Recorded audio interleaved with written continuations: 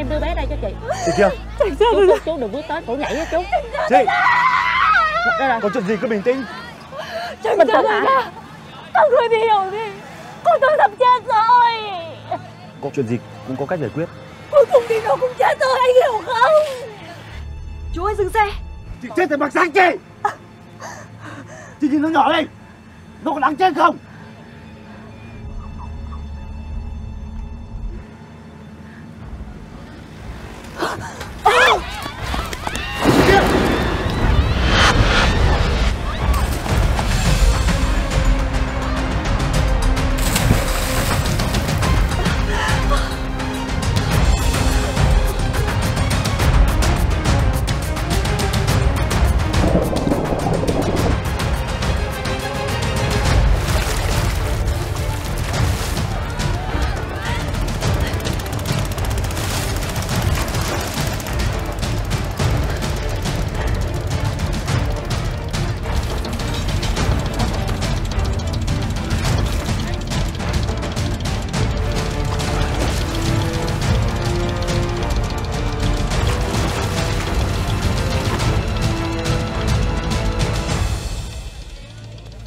không trách được nó.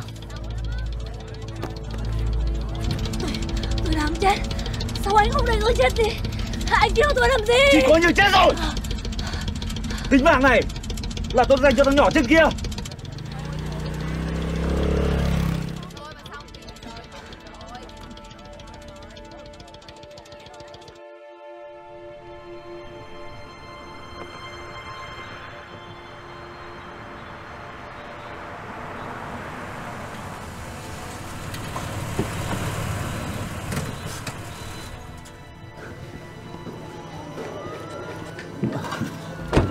Cấp cứu gấp.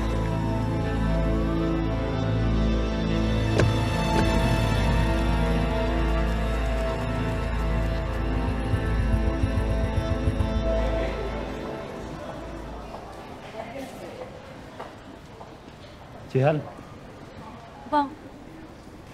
Chị qua quầy bên kia Ký giấy nhập viện cho cháu đi. Tiền tôi đóng rồi. Đây Ôi. Chị cầm đi. Là tôi cho cháu.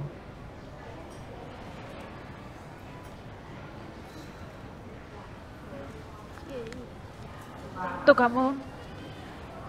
Tôi gửi anh cái áo. Đừng quá lo lắng. Mọi chuyện sẽ ổn thôi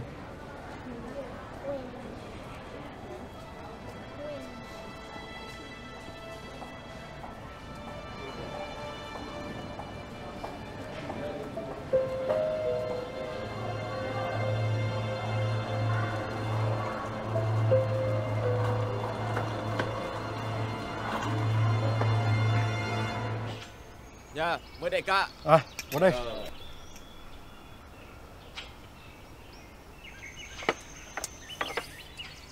Đây.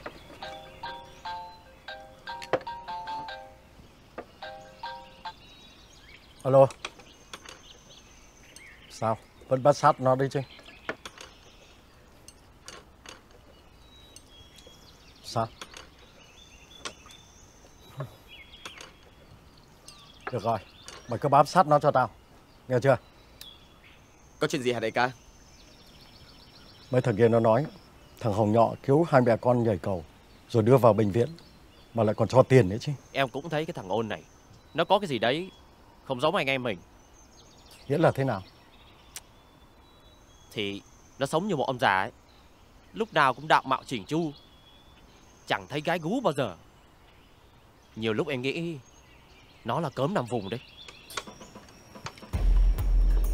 Thằng này nó là người của ông Chê. Cách đây mấy ngày, ông có điện cho tao.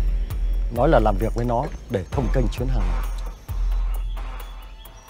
Nhưng mà thằng này ở đâu ra vậy đại ca Đợt trước tao có xuống chợ Bình Ca, rồi sang Hưng Hóa. Tao có hỏi về nó. Ở dưới đây chúng nó nói thằng này rất là bản lĩnh, quân tử. Nó dám đấm dụng răng thằng quản giáo. Có thằng Va nó đang ở trạm Bình Ca Em nghe đồn đâu trước đây, Nó từng là đàn em của thằng Hùng Nhọ Hay là bây giờ đại ca cử cái bọn kia Đi xuống gặp trực tiếp thằng Va để hỏi cho nó ra lẽ. Em đang nghi ngờ có thằng đang giả danh thằng Hùng nhỏ đó.